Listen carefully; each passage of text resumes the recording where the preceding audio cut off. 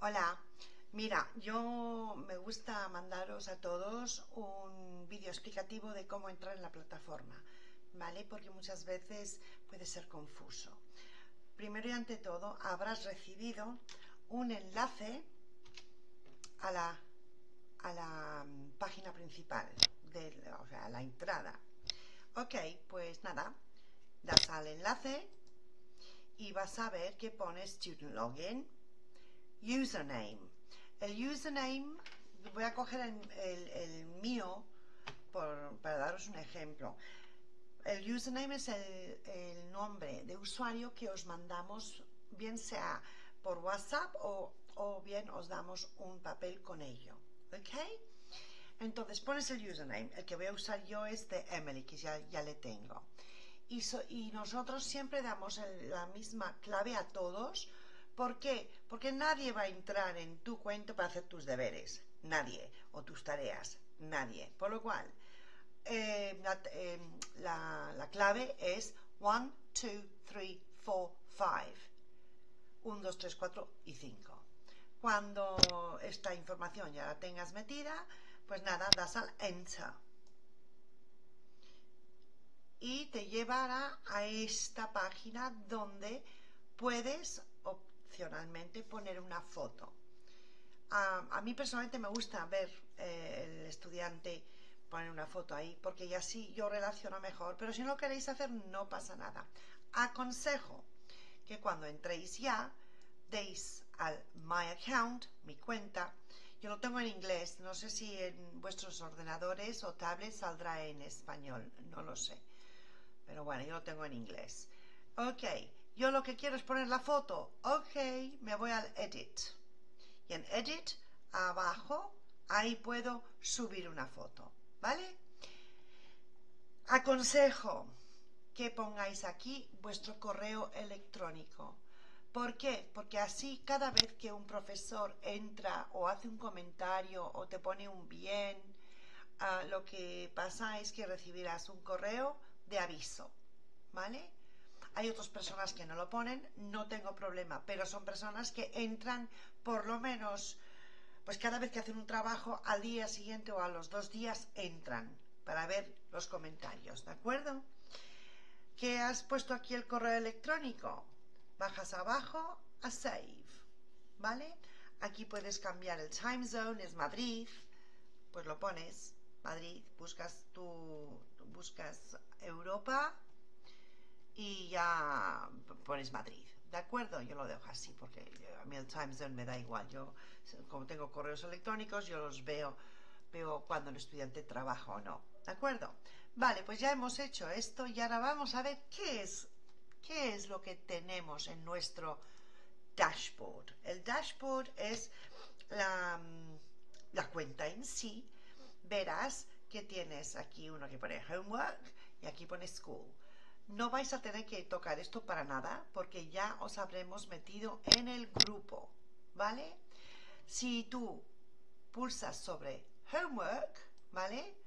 Vais a ver una serie de libros. Como esta es mi cuenta de experimentos, tengo todos mis libros, todos. Tengo como 100 libros aquí metidos, ¿vale? Tú tendrás muchos menos. Entonces vamos a decir que tienes el ISC 1 cliqueas sobre ISC1 y aquí están todos los exámenes y las tareas para este nivel. ¿Vale? ¿Qué hacemos? Pues bajamos. Aquí tengo el texto del examen de ISC de Trinity o que puede ser un examen de condicionales o de pasiva, dependiendo de lo que estemos dando en ese momento. Vamos subiendo workbooks.